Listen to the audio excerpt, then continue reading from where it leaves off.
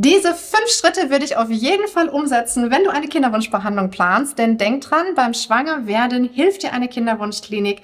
Schwanger bleiben muss dein Körper aus eigener Kraft. Vor allem, wenn du denkst, oh, ich möchte auch selber was dazu beitragen und jetzt nicht nur warten, was die Klinik mir sagt, was ich machen soll, sondern ich will auch selber diesen Behandlungserfolg auch unterstützen, dann solltest du dir die fünf Punkte mal anhören. Ich bin die Melissa. Ich freue mich wahnsinnig, dass du in diesem Video dabei bist. Ich bin Kinderwunschcoach und begleite Paaren auch in der Vorbereitung auf Kinderwunschbehandlung, wenn zum Beispiel organische Ursachen vorliegen, warum ein Paar auf natürlichem Weg nicht schwanger werden kann.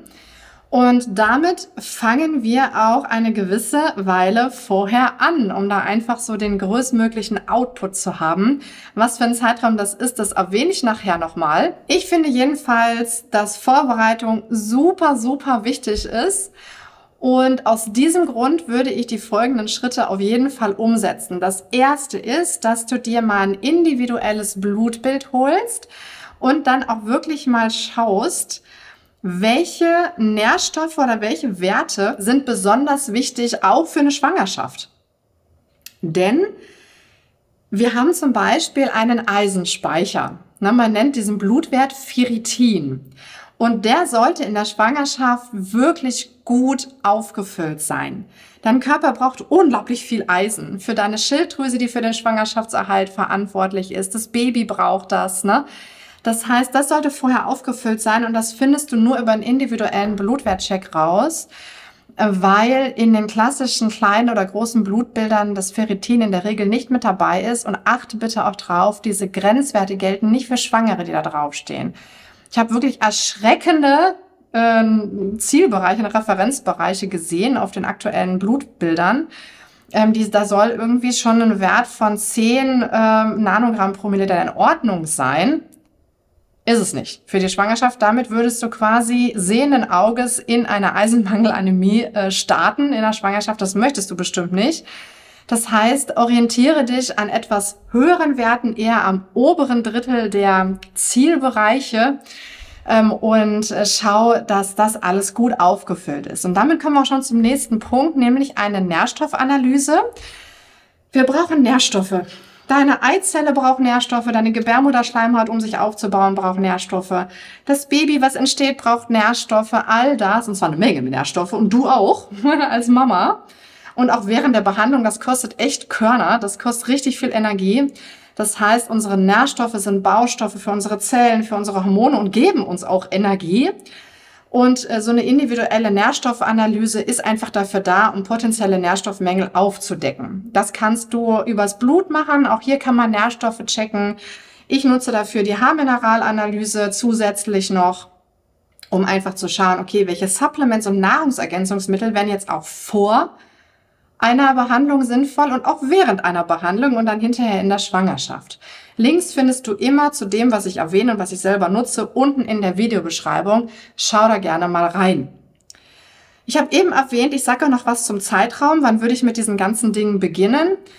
Es macht Sinn, drei Monate vor einer Behandlung mit diesen Maßnahmen zu beginnen. Sowohl das Blutbild als auch die Nährstoffanalyse, weil du solltest drei Monate vorher mit dem Auffüllen von Nährstoffmängeln anfangen.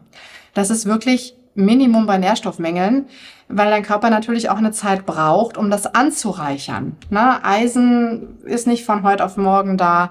Ähm, auch die anderen Werte äh, müssen aufgefüllt werden. Jod zum Beispiel, ja, ähm, ein Großteil des Jods, über 70 Prozent, gehen in der Schwangerschaft ans Kind.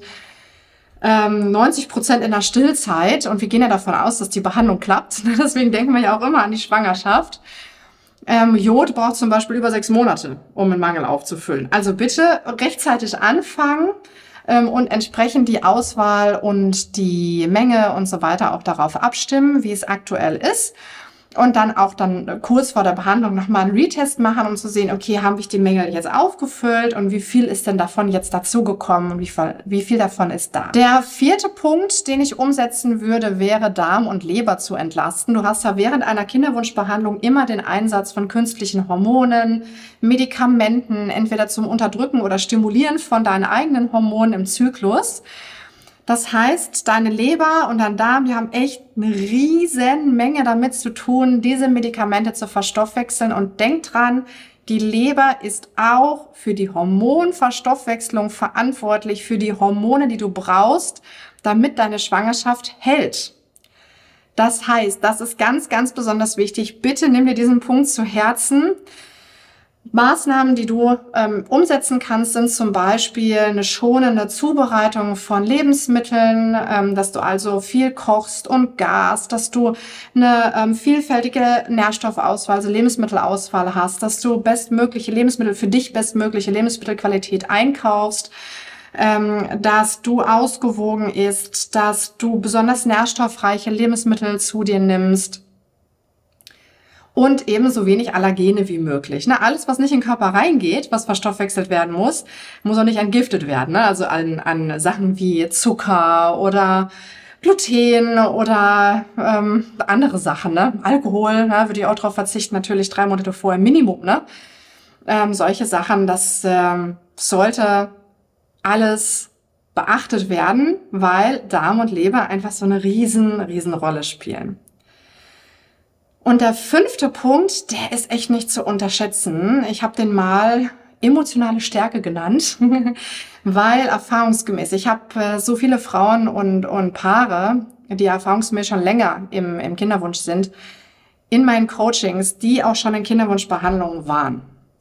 Und es gibt eine ganz, ganz wichtige Voraussetzung, die immer zutreffen sollte, wenn ich in eine solche Behandlung gehe. Und das ist, dass ich wirklich mit vollem Commitment dahinter stehe. Das muss sich für euch als Paar absolut richtig und logisch anfühlen, dass das der nächste Schritt ist. Denn habe ich nur einen Hauch von Unsicherheit, zeigt sich das meistens während der Behandlung vor allem in den emotionalen Themen. Und sowas ist eine Herausforderung. Ihr seid sehr, also dieses Thema wird sehr dominant sein während einer Kinderwunschbehandlung. Ihr seid schließlich terminiert. Ihr fahrt mehrmals zu festen Daten in die Kinderwunschklinik. Ihr nehmt Medikamente zu bestimmten Zeitpunkten.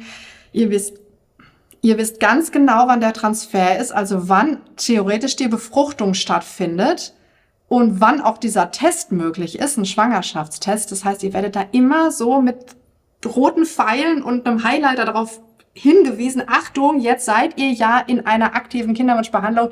Es könnte auch geklappt haben. Und das ist, ist eine emotionale Herausforderung. Ich finde, man sollte sich einfach vorher darüber im Klaren sein und sich auch fragen, okay, was hilft mir? Wie kann ich auch entspannen in dieser Zeit? Was bestärkt mich? Wie können wir uns als Paar gegenseitig bestärken in dieser Zeit? Welche Hilfe von außen kann ich vielleicht auch in Anspruch nehmen, um diese Unterstützung zu erhalten, die mir helfen kann während dieser Zeit. Ja, das erfordert, so eine Kinderwunschbehandlung erfordert Geduld, emotionale Stärke, Durchhaltevermögen und es ist eben ein emotionales Thema, der Kinderwunsch. Ne? Und ich finde, wenn man vorher schon so ein bisschen abwägt, okay, was kann ich da so tun, um diese emotionale Stärke auch wirklich beizubehalten und auch dieses ähm, Commitment, ist das schon ein ganz, ganz wichtiger Punkt. Und dann gibt es natürlich auch noch etwas ähm, von dem, was man vorher nicht so richtig weiß, was einem eigentlich auch keiner über Kinderwunschbehandlung sagt.